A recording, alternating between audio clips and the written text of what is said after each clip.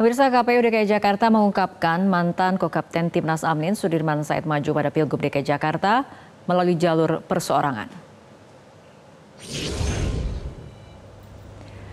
Kepada Divisi Teknis Penyelenggaraan Pemilu KPU DKI Jakarta, Dodi Wijaya menjelaskan mantan Menteri SDM Sudirman Said berpasangan dengan Ketua Umum Ikatan Pedagang Pasar Indonesia atau IKAPI Abdullah Mansuri sudah mengajukan akses sistem informasi pencalonan atau silon sebagai tahapan pendaftaran yang akan berakhir pada 12 Mei 2024.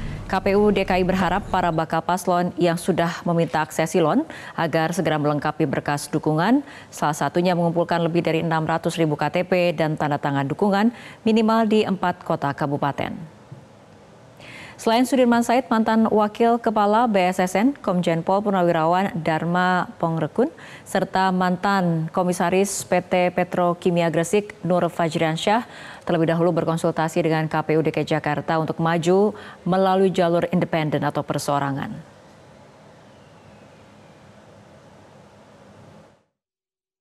dua orang yang sudah mengajukan uh, akses silon ya jadi kami akan tunggu nanti sampai dengan uh, hari terakhir pendaftaran pasangan calon Pak itu dia ngajuin sama pasangannya atau hanya untuk cagup? Hanya tim.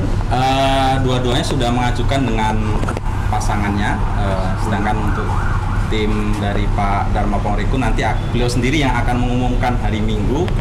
Informasinya hari Minggu uh, sore hari akan mendaftar secara resmi dengan bakal calon wakil gubernurnya. Sedangkan Pak Sudirman Said, uh, beliau dengan wakilnya uh, yaitu Pak Abdullah Mansuri. Yaitu Pak Sudirman Said berpasangan dengan Bapak Abdullah Mansuri. Jelajahi cara baru mendapatkan informasi. Download Metro TV Extend sekarang.